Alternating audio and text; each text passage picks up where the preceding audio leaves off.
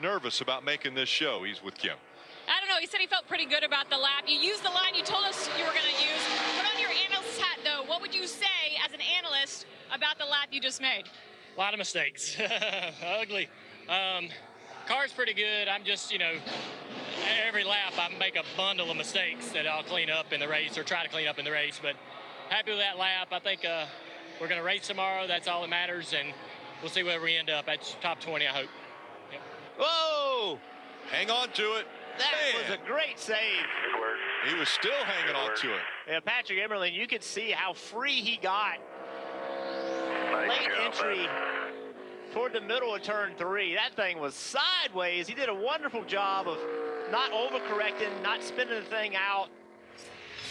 Got in a little too deep, obviously. Got himself in trouble. Probably going back to the throttle. There, look, look how around that car is. Just great job. Kept it off the fence, too. Yes. Yeah, Kyle Larson couldn't even keep it off the No. last week.